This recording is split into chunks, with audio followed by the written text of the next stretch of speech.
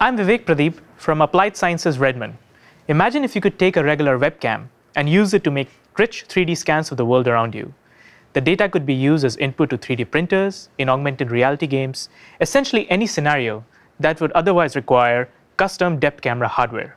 So together with my colleague Christoph Rhemann in Interactive 3D Technologies Cambridge, we have developed a system that we call Monofusion, which enables us to make detailed 3D reconstructions of the world using just commodity webcams.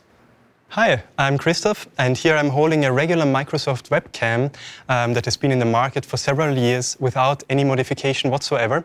And I can point this at the scene to obtain a rich 3D reconstruction in real time that shows up on the screen um, behind me. It works by tracking the 3D position of the camera, and together with the live um, RGB input stream, we are able to obtain a depth map for every frame. And every depth map is integrated into a 3D model. So this means that every depth map actually improves the 3D model over time.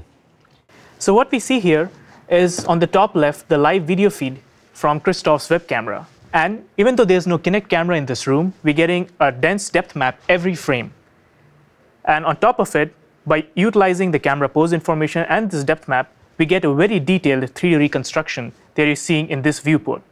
And as Christoph zooms in and out of the scene, you can notice the details that the scene is capturing. For instance, you can see the tiger being richly reconstructed against the shoe.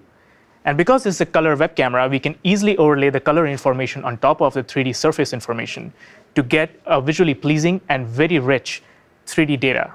This you can send right away to your 3D printer, and you can use it in augmented reality games. What we have enabled is easy to use software framework that would plug into anyone's camera and would enable you to build rich 3D models of the world around you.